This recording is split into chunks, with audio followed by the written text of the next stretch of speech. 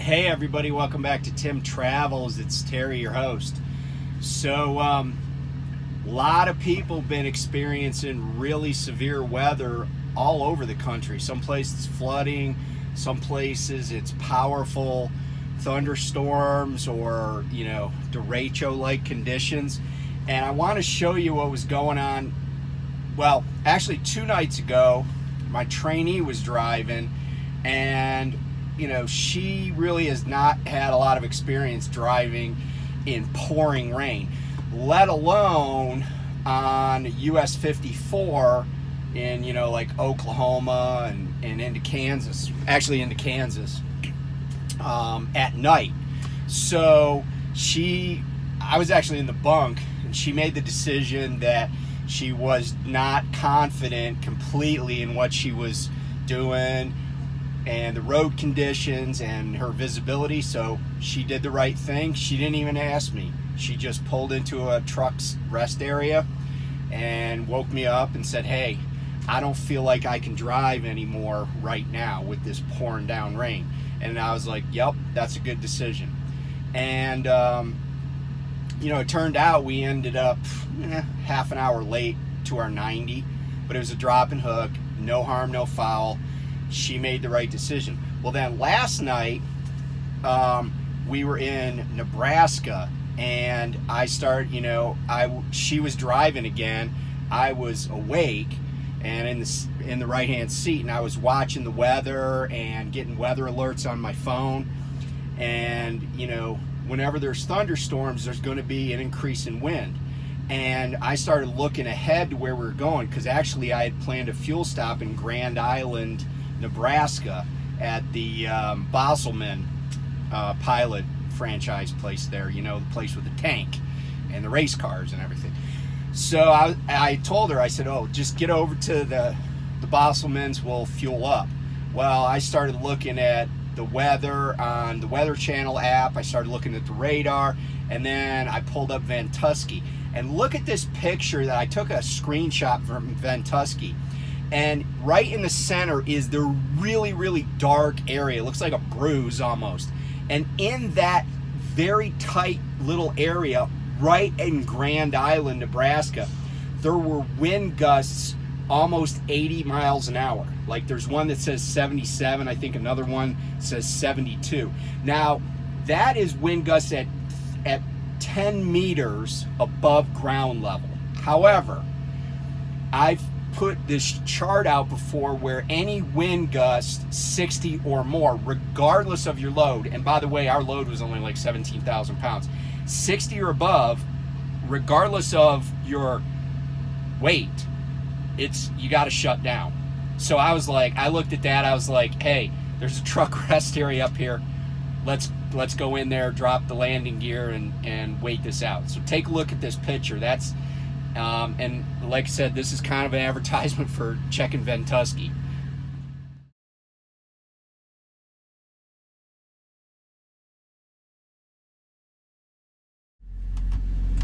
Okay, so you can see that that uh, and that one cell was like pretty scary, and that's why we stopped. So, so the other thing I wanted to talk about is um, I've just been hearing like anecdotal stories, anecdotal evidence about people in TNT, and I wanted to. I know a lot of people have addressed this before. I've seen videos. Um, Lyle from No Hippie Trucking and Transportation talked about it. Other people, there's one guy I can't remember his name. He did a great video. He was very uh, dispassionate, but very factual. And um, but I, I, I kind of feel like it bears repeating, and maybe I'll say something that'll resonate with somebody. But so here's the deal you know, there's a guy named Mark who has a channel called Russian Trucking, like rushing as in I'm rushing from place to place. And um, he's been with a number of companies, and I've been a subscriber of his for a while.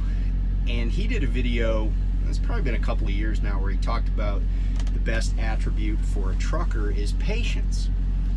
And at the time, you know, I was like, yeah, that is that is a thing. You know, it's it's uh, being patient goes a long ways in this business. But I think that maybe I want to amend that idea and and say that for somebody in PSD, but especially in TNT, because TNT is really more about, it's not about learning to back up a truck as just an exercise. It's about learning to back up a truck into a loading dock or at a truck stop as part of the actual job. And you know, and all the other tasks. Driving down the highway isn't just an exercise in, you know, checking your mirrors and putting your blinker on. It's like we're going from A to B, and that's our job. And so that attribute that I feel like really is is undersold is adaptability. And um, you know, and, and what I mean by that is this. You're going to get in situations if you haven't been a trucker before and let's face it most people coming into this industry haven't been truckers. There's a few. I've met a few guys that have driven trucks before um, but it's going to be new to you. And so part of part of being successful is being adaptable. And what does adaptability mean? Well it means that you know situations that you haven't found yourself in before are still able to be handled, whether it's mimicking what other truck drivers are doing in good ways, whether it's following your trainer's instructions, or whether it's just getting used to being out on the road for three weeks, four weeks, five weeks, six weeks. You know, a trainer that goes out and says, hey, we're going to stay out for four weeks, that shouldn't be a shock to anybody right? They shouldn't be like, oh, this is boring, or how come I have to drive, you know, 10 hours a day? You know, that's that's the job, right? That's what you you are seeking. That's that's the career that you've chosen to embark upon. So if you're if you haven't if you don't understand all of the worst parts about this job, then I guarantee you that all the best parts about this job are just going to pass you by. And I don't care whether it's seeing cool things that you've never seen before. I don't care whether it's making good money because I've I've had jobs where I made a butt ton of money, but I really wasn't happy in the job. And you know, you're not going to have a blast every single day. You know, you're not going to do something that's new and adventurous every single day. Sometimes it's very monotonous. Um, there are certain places I just don't really like driving through very much, but I have to do it because it's the route that makes the most sense. Fortunately for me, I kind of have made, for lack of a better term, a parlor game out of being places. You know, like why is that called that? Like here's an example. I was in Laramie this morning. I stopped, actually I did my 30 in Laramie. We're at the Salt Lake Terminal now. I did my 30 in Laramie. And I was like, I cleaned my, I, you know, I did my under the hood checks that in detail. I cleaned my windows, did a couple other chores. Went in, got a drink, went to the bathroom. But then I was like, I had a little bit of time to kill, and I'm like, why is Laramie called Laramie? Well, I know there's a Laramie River there was a Fort Laramie, there's, you know, Laramie Mountains, but why?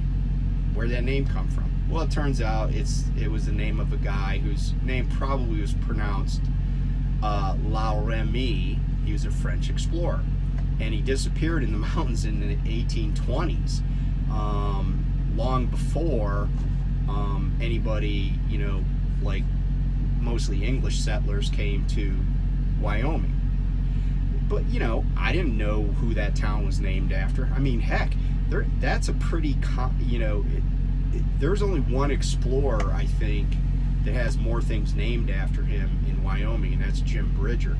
But Laramie is even like trucks are named, you know, like it's it shows up a lot, like it's a thing. It's like this epitome of the West.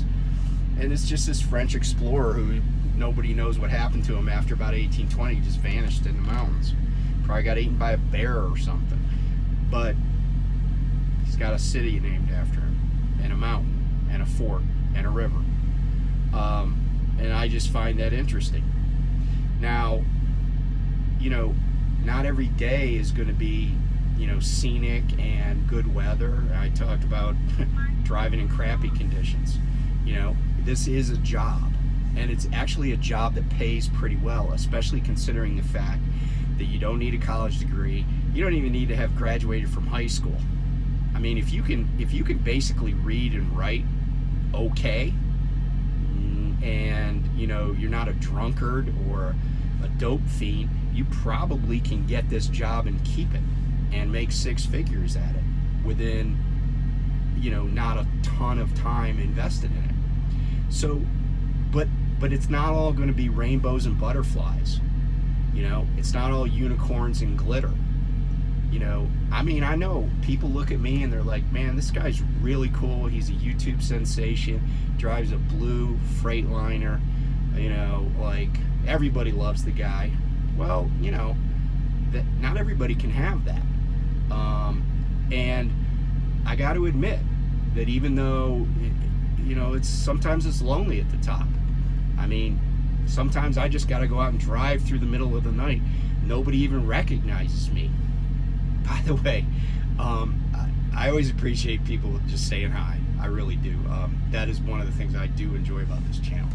Um, obviously, I don't think I'm a big star, but um, but I but I do appreciate people saying hi, um, and I like meeting people and um, learning about them. But you know, that's just one of those little things that I enjoy about my job. But there are things I don't enjoy about my job. Like the other day, I couldn't get it find an empty trailer. I had to go scavenger hunting in Southern California for one. I didn't like that because I'm driving my truck around in a place where the fuel is like six bucks a gallon, with the with my discount. The point of all this is that if you're not adaptable and you don't have some resiliency, and you're not mature enough to just see the long view, see, you know, if you don't have a vision of where you're going, and the pun intended, but if if you know, I used to say to people when I was in the military, you know, in in a capacity kind of like as a career counselor, I'd be like, where do you see yourself 10 years from now? I used to say that to customers, clients, when I practiced law who were starting a new company. They would they would be like, hey, I got this great idea. I want to start a company. Can you help me? I say, sure. Let's talk about where you see yourself because where you see yourself, where you want your company to be in 10 years, that would drive a lot of the decisions we made at the outset. Do I want to have a C corp with several different classes of equity and debt that I can sell? Do I want to raise do I want to raise money through private placements and avail myself of the capital markets or do I just want to have a you know privately held company and just you know not grow not bring in investors those are all things that that I had to think about for my client well I'm encouraging you to say hey I'm going to roll with the punches here I'm not going to I'm not going to anticipate things being bad or good. I'm just going to take them as they come. And you know, you should find some enjoy you should enjoy something about your day every day. That's part of being adaptable too. Is is making the best out of a situation that maybe isn't great, you know, like the saying when life hands you lemons, make lemonade. I mean, I also know some people that say, you know, when life hands you lemonades, make uh, like I don't know, gin and lemonade. But um, you know, if you're not, if if you don't have that mindset, then you know of what's going to happen in TNT, and maybe just saying, I don't know what's going to happen, but I'm going to go with it. Um, unless something's unsafe or you're not being trained or something, you know, you should just enjoy the ride do your work.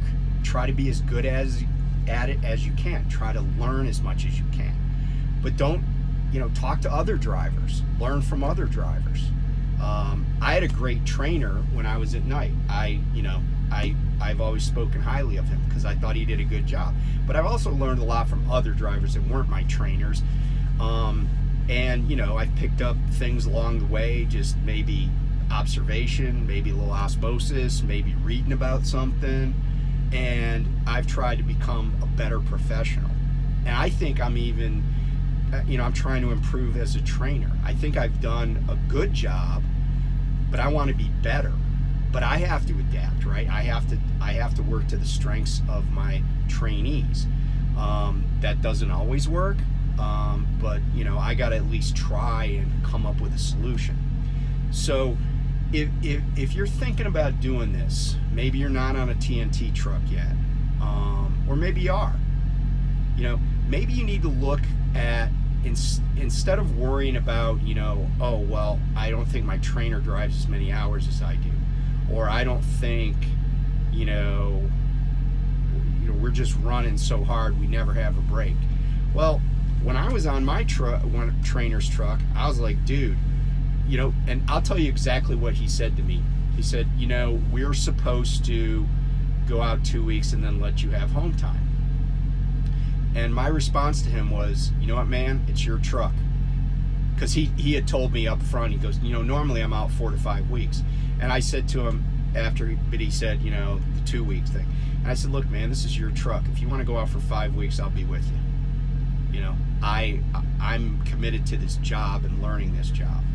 And if, and if that's not your attitude, then you probably, you, you know, you need to be honest with yourself because here's the other thing if you're not willing to go out with your trainer where they're where they're doing part of the work you know they're doing part of the driving. Like i drove 670 miles today.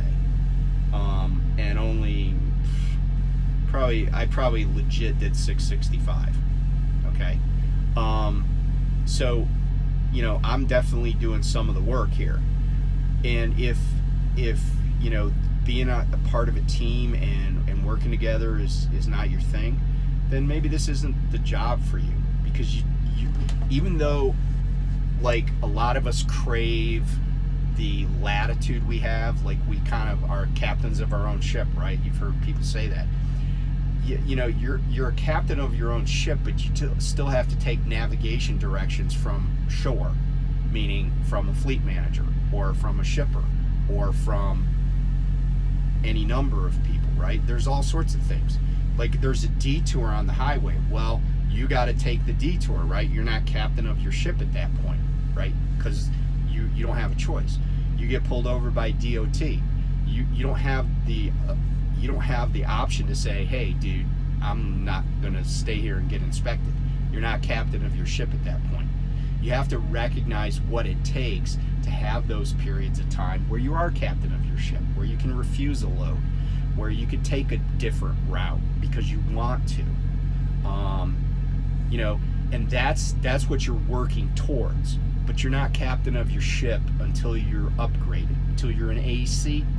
Um, and then even if you're a company driver, you're not a captain of your ship as much as say if you're a lease. Um, there are different sets of rules, and you know everybody kind of juggles that and decides what they want to do. But if you haven't thought through all that, if if if you haven't unburdened your mind um, and said, "I'm going to go with the flow. I'm going to learn everything I can. I'm going to do my best to keep my chin up and to be cooperative and to just embrace the suck." Right? Not everything's going to be fun. Embrace the suck. You know, there's a class at BUD/S, and they had this motto. I, I've always loved it. And it's, and you know, there were even times where I'd be out like running in the rain in sweats, and I'm drenched and I'm muddy, and they they had this saying, and I want I don't want to mess it up. They they basically said, um, if we didn't do it, then it didn't suck. Um, and, you know, sometimes you just got to embrace the suck to get where you want to be. Um, so that's my kind of spiel for today. I hope everybody's doing well. Um, I've talked to my trainee about maybe uh, sharing some of her thoughts about being on the truck so far. I think she's close to 12,000 miles. Uh, we're running pretty hard we uh, we ran from Cali on we left Cali on Sunday, ran over to Kansas City, and we picked up a load. Um, where did we pick up? Oh, also in Missouri, and we're on our way to Stockton, California tomorrow night. So anyway, take care, be safe. You gotta watch the weather. There's no time of the year that you can ignore the weather anymore. There, it's not a thing. It's not a thing. You got to pay attention to the weather. Not only where you are, but where you're going. We were going to Grand Island. You got to look out. You got to look ahead. You got to look downrange. So, anyway, thanks for watching. Appreciate everybody. I really appreciate all the subscribers. Appreciate the people I get to meet. Um, that's a cool part of this. And uh, yeah, we'll catch you next time on Tim Travels. Bye.